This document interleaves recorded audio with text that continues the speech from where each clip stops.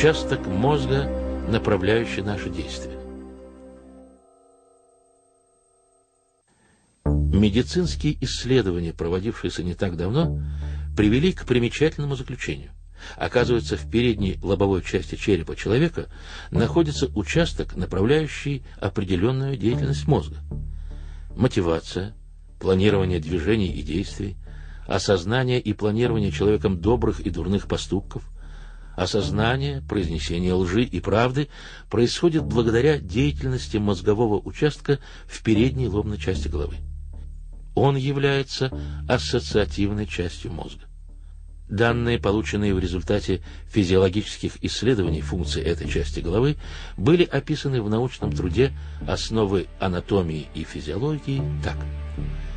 Предполагается, что передняя лобная часть мозга, наряду с двигательными функциями, также является функциональным центром агрессивности.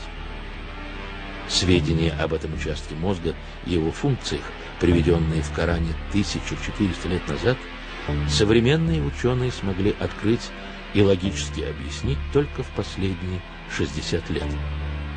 Коран же гласит, «Так нет, если он не прекратит свои деяния, то мы схватим его за хохол, его лживое и грешное чело».